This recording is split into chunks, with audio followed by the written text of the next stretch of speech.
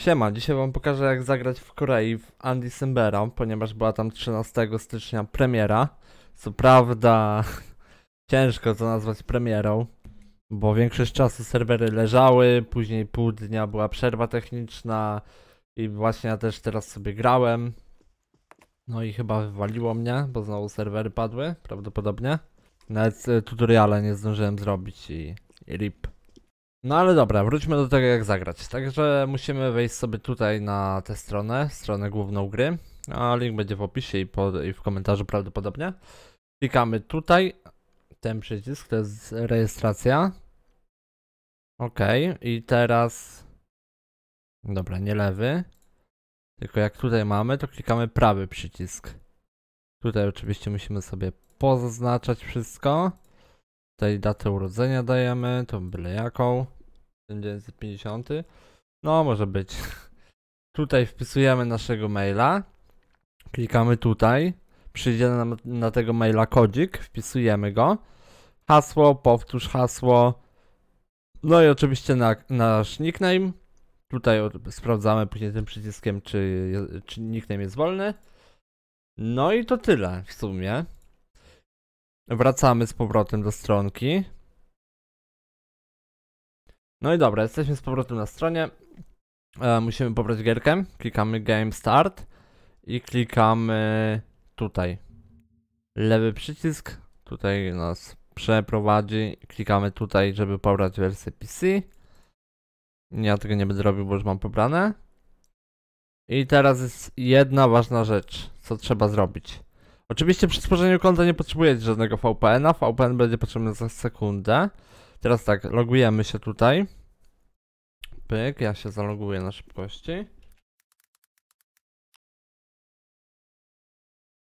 Dobra, jak jestem zalogowany, jak jesteście zalogowani, musicie najechać tutaj na siebie i kliknąć ten przycisk po lewej e, pod mailem, ponieważ musimy wejść na naszego page'a na tej tutaj stronie.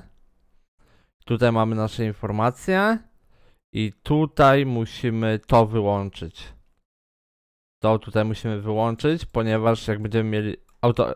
Defaultowo mamy to włączone i przez to nie możemy się logować w launcherze przez VPN-a. Także musimy to wyłączyć. Klikamy tutaj, mamy on, klikamy, przełączamy na off. Tam musimy podać kod, który przyjdzie na maila. No i to w sumie tyle. Jak już mamy pobrany launcher w sumie, bo launcher najpierw trzeba pobrać i później się pobiera gierkę. O, znowu skoczył maintenance. Chwilę gierka działała i już z powrotem nie działa, także no z tym graniem to jest ciężko, naprawdę tragiczna premiera. No i teraz tak, jak się zalogujemy z naszego, na, e, z naszego normalnego IP, to nie będziemy widzieć Andy Sembera, będziemy mieli tylko Royal Crown. Co zrobić, żeby widzieć Andy Sember? Trzeba e, logując się na VPN-a, e, logując się do launchera, trzeba zmienić IP poprzez VPN-a. Ja osobiście używam do tego Tunnelbeer VPN-a.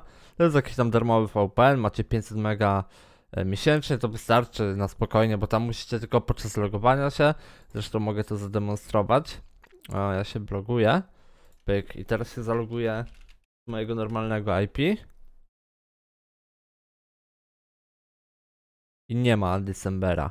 Teraz klikamy logout. Odpalamy naszego VPN-a. Tutaj mamy South Korea. Pyk. Mamy łączenie. Dawaj, dawaj. Dobra, połączyło. I teraz logujemy się po raz kolejny.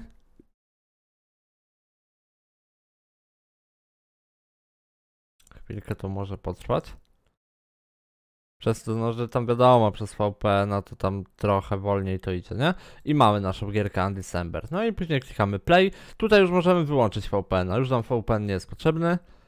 Także możemy zalogować się, wyłączyć VPN-a i sobie pobrać normalnie grę na swoim necie. To z tym nie ma żadnego problemu.